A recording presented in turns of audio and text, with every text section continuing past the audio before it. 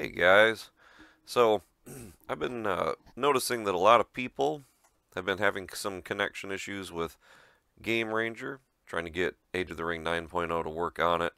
And so I wanted to just uh, clarify on what it's supposed to look like for anyone out there who's maybe trying some alternatives or maybe who doesn't actually understand quite fully how it's supposed to look or work. I did cover this ever so slightly in um, my own Age of the Ring 9.0 walkthrough and install or uh, launcher walkthrough, but um, I didn't cover it in great detail because I just assumed it was very simple and straightforward. Uh, but for some people, apparently, it is not. All right, so I wanted to just uh, go over this just real quick. Nice short little tutorial here. So what you do is you use this little tool here and you go up to click PvP mode and when that happens it'll open this up. Alright I know I covered this and when I open Game Ranger I'm gonna go join. This time I actually have someone that I can join.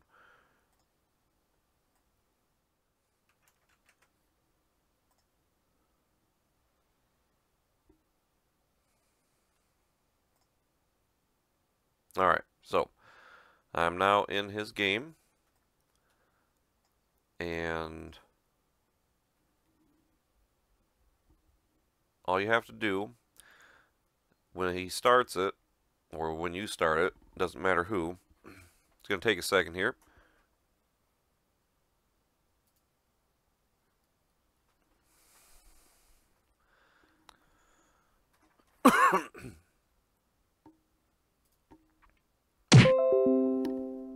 Alright, so this is what's going to pop up for both the person who starts it and also for you. It's going to be blank in both cases for your first go around. And literally all you have to do is just copy each of these into their respective lines. And that is it. It's not any more complicated than that. Uh, I've seen some strange uh, things that people have been trying. I guess some people have been consulting the uh, the Chat GPT AI to get answers on this, and it's been telling them to create whole new folders with that .big files in it.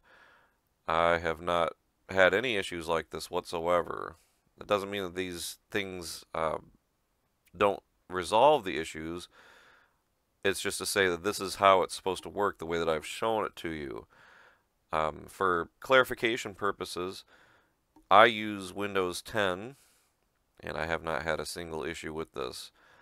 Um, it sounds like a lot of people who use Windows 11 are using are having issues with this. Um, but I don't know exactly what's going on. I'm no tech expert. You know, I'm no pro.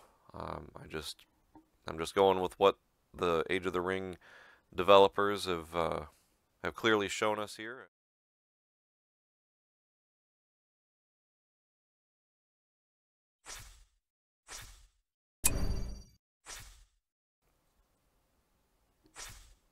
Okay.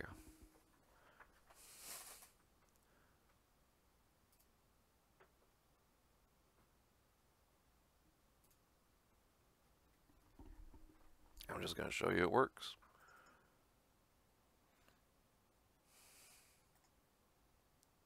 Okay. And let's get started.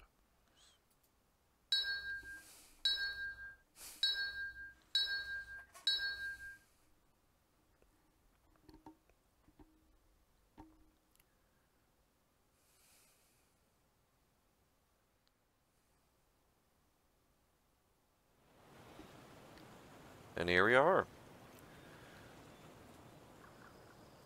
Who needs something built?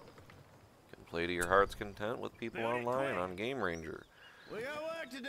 So, again, I wish I could help people more with some of these connection issues. It's, I know that one of the most common things that have been happening to people is uh, an error message popping up that says something about uh, Balrog breath, of all things. Uh, it's something to do with the um, the INI settings, if I remember right. Something to do with uh, that ability.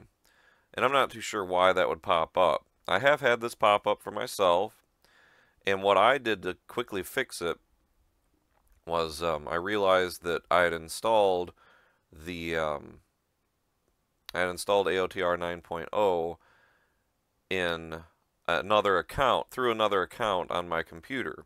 I have several different accounts on my computer, and so I installed it on one of the alternative ones because my main one was acting up on me, and it still continues to act up to this day.